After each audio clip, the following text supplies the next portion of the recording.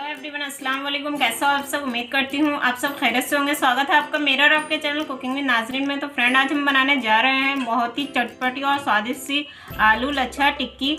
और यहाँ पर हम स्टफिंग करेंगे चना दाल की। तो चलिए रेसिपी स्टार्ट करते हैं।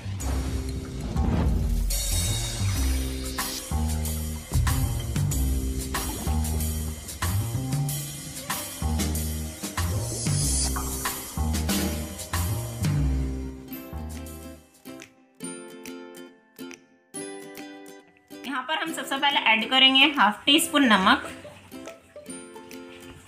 और यहाँ पर हमने ये 500 ग्राम उबले हुए और कसे हुए आलू लिए थे।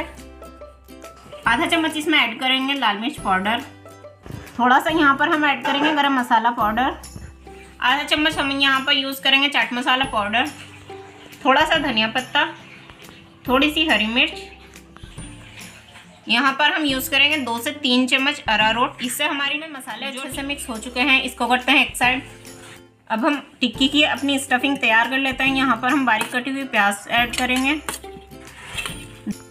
धनिया, हरी मिर्च। स्टफिंग हमारी बनकर तैयार है। यहाँ पर हमने नमक यूज़ नहीं किया है, क्योंकि हमने जब दाल दाल उबाली थी, हमने नमक तब यूज़ किया था। यहाँ पर मैंने ये दो बड़े साइज़ के ग्रेटेड आलू लिए हैं। यहाँ पर मैंने अपने हाथों पे थोड़ा सा तेल लगा लिया है। अब हम अपने ये आलू ले और इसको टिक्की का शेप देंगे।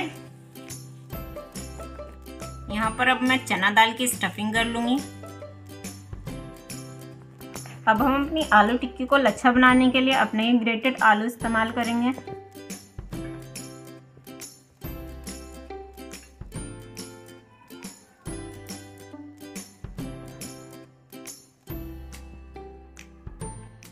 हमारी टिक्की बनकर तैयार है अब हम इनको फ्राई कर लेंगे।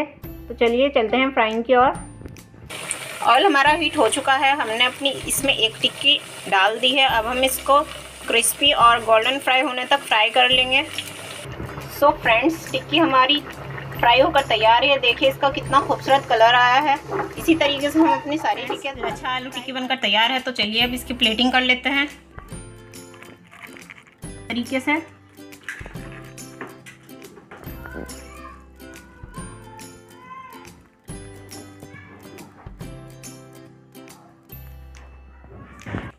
यहाँ पर हमने इसमें दही ऐड कर दिया है। अब हम यहाँ पर इसमें ऐड करेंगे इमली की खट्टी मीठी चटनी। ये होममेड है।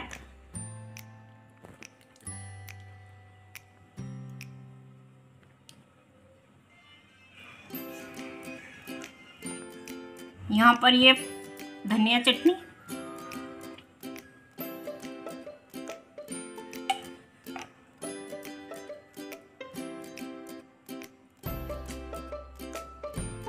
थोड़ा सा ऐड करेंगे नमक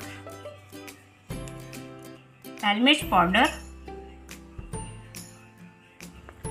चाट मसाला।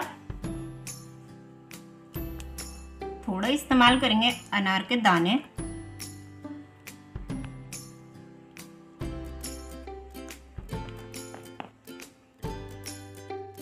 सो फाइनली फ्रेंड, आलू लच्छा टिक्की, चना दाल स्टफिंग के साथ तैयार है रेसिपी पसंद आए तो लाइक कीजिए शेयर कीजिए और मेरे चैनल को सब्सक्राइब करना ना भूलिएगा। तब तक के लिए बाय अल्लाह हाफिज़। अपना ख्याल रखिएगा। मिलती हूँ बहुत जल्द आपसे नई नई वीडियो के साथ।